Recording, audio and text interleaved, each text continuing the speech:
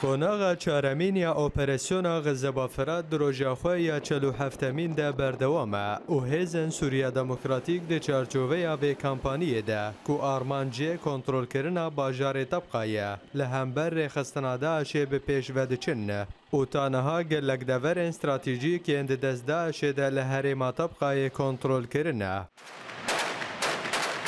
Odeya Operasyonên Xezeba Ferat da zanîn ku di heyama bîst û çar demjimêrên borî de pevçûnên tund di navbera Hêzên Sûriya Demokratîk û Rêxistina DAIŞ'ê de li her sê taxên topxanû yên yekem, duyem û sêyem rûdan û di vî şerî de Hêzên Sûriya Demokratîk bi pêştevaniya Hevpeymaniya Navnetewî, Karîbûn çekdarên DAIŞ'ê ji hin navendên tebqayê berdin. Her wiha li gorî heman jêderan, di encama pevçûnan de bêtirî sî û du çekdarên rêxistina DAIŞ'ê di nav wan de çar sekvan hebûn hatin kuştin û hejmarek çek û cebilxaneyên wan jî ketin dest hêzên Sûriya Demokratîk de.